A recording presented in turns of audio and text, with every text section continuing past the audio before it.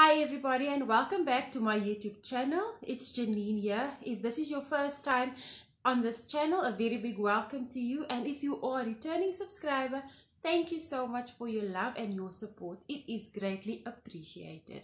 In today's video, we are getting serious about registering your business. If you are serious about your business and you want to register your business with the CIPC, I will today help you to register it with my step-by-step -step guide on how you can register your business under 10 minutes for only 175 Rand. Yes, you heard right. 175 Rand and you can do it right now and I will show you how to do it. Stay tuned.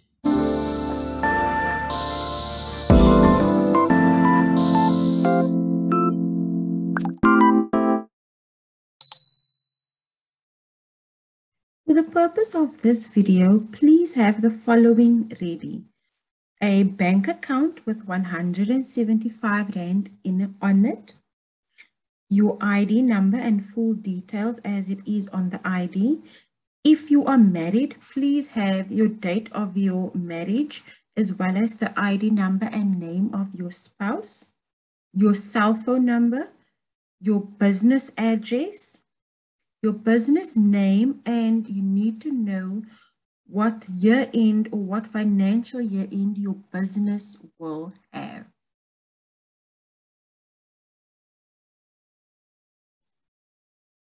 Once you have all your information, you can log on to the BizPortal's website. It is bizportal.gov.za. It will take you to this is the home screen. And if you scroll down, there's the whole registration process from start to finish. And there's also um, some other things that you can get from the BizPortal website, which is also included in the registration, namely a BEE certificate, if you do have employees, UIF and compensation fund registration, as well as a bank account if you wish to open a bank account. So once you're on this portal, the first thing you are going to do is you are going to click on register. On the user registration page, once it opens, it will give you the option to enter your ID number, your South African ID number to be more specific. This is unfortunately not open to individuals with passport numbers only, so you need to have a South African ID number in order to make use of the BizPortal website to register your business. Once you've entered your 13-digit ID number, you can click on continue and you can follow the prompts on the screen where it will ask you for an ID for your ID number, it will give you your full name, it will ask you for your username, which you can create yourself, and it will also give you the option of selecting a password. Um, I have already done that, so I'm not able to re-register, but that will be the prompts that you will have to follow in order to register as a BizPortal user. So after registration, once you have your login details and you have your password, you can go on to the login portal.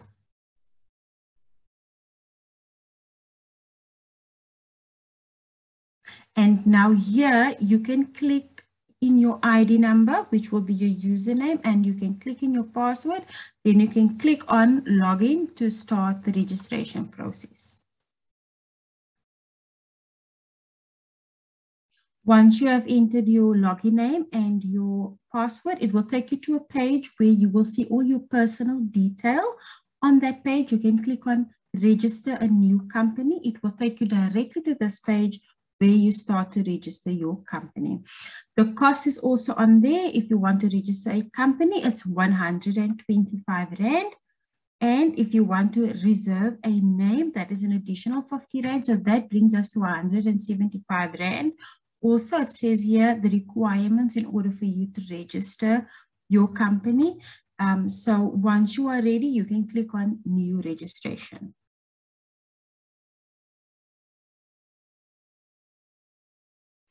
Here's the company registration terms and conditions. Please read through the whole section.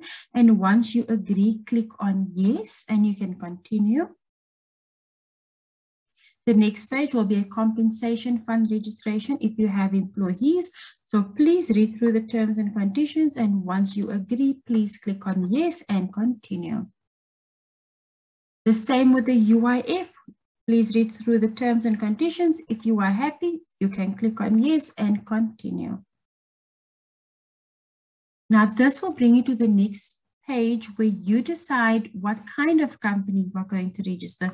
On the Biz portal, you have the option to register a private company or a non-profit company. For the purposes of this video, we are going to register a private company, which means it's a company for gain, and we will click on continue. Next up, you need to put in the director's ID numbers. So we will do so. And once you are done, if there's only one director, you it the information will populate and you click and click on continue. If there's more than one director, please enter the first director's ID number, click on the plus button, add the other director's ID number. And if you need more than two, you can click on plus until you've reached the amount of directors that your company will have.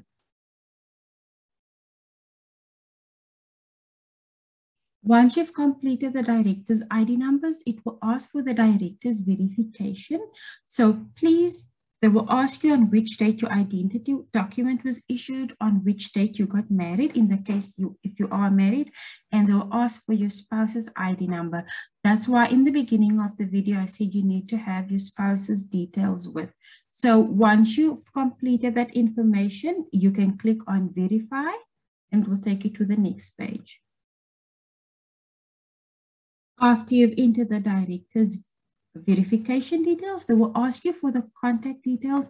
Please have your cell phone number ready, the email address and the physical address of the directors. Once you have completed all this information on the director contact details, please press on continue.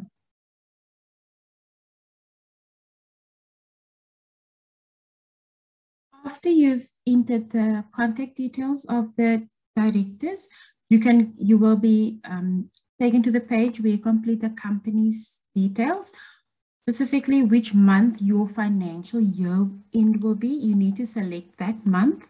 They will ask you how many authorized shares you have. If you have a different amount, there's a space for you to put the amount. Um, and then they'll ask you what is the physical address of the company. You can also then, after you've completed the physical address of the company, tick and it will be said that it is the same as the, the postal address is the same as the physical or in the event that it is not the same you can add it at the bottom and you can click on continue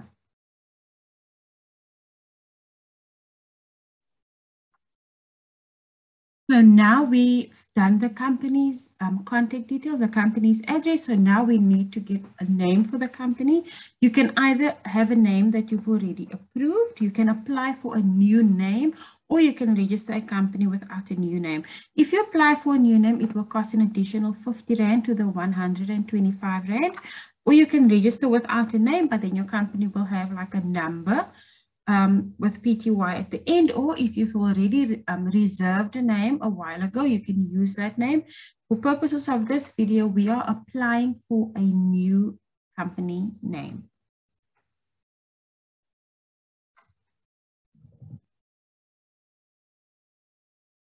This will take you to the name where you can, in the page where you can include at least, you can include at least one proposed name, but you have the option to list four names, obviously with the first the first one being the preferential one, and secondly, the one you preferred on the second or third, and then you can click on continue.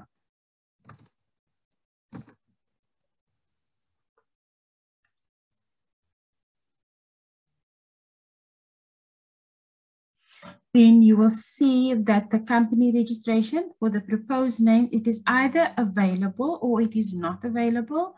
So if the name is not available, you can edit and go back and include a name that different name that might be available. So if the name is available, you can click on continue, which will take you to the following page.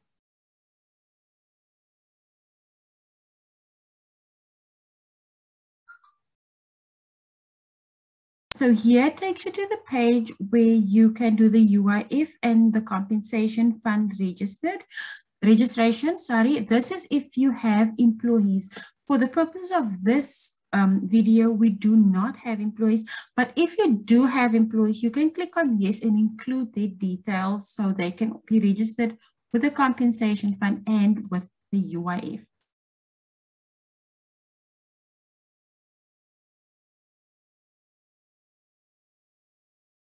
The same goes for the BEE application. You can apply for a BEE certificate or you can opt to not apply for a BEE certificate. For the, you can click on yes or no. It is completely free. It is included in the 175 Rand that you use to register your business and reserve the name. For the purposes of this video, we are not going to include a BEE certificate, but you can include a BEE certificate.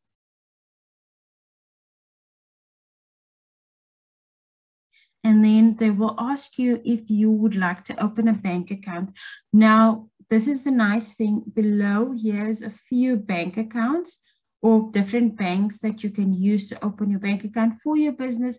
So you don't have to go into the bank to open up the business account after you've done the registration. It can all be done at once. So this is very nice. Um, for the purposes of this video, we are not opening a business bank account, but just know that that option is available for you to use and it saves you quite a lot of time. So it is definitely something you can use. After you've selected the bank or not selected the bank option, you will be going to the company registration, the payment section. So this is where you will pay and you need to have your card available. So you can add it to your card to pay. And now they will say that the company's been lodged. They'll send you the confirmation and you can click on pay now. And now you're at the final, final step. So you can see here the cost that they've included is for the company registration, the 125, and then the name reservation, which is the 50 Rand. So you, the payment option is you can pay with a card. And this is the final step. So right now you can click on pay now and include your bank details or your card details at the bottom. And once you click on pay now, you will receive a confirmation number or a reference number that your business has been registered and you will get your business registration documents within the next few days. So this is the final step and you have registered your business. Congratulations, you have successfully registered your business. If this video was helpful, please comment down below and let me know how you found the content of it. If you have managed to successfully register your business, give this video a thumbs up, share this video, like and subscribe to my channel. Until next time, bye-bye.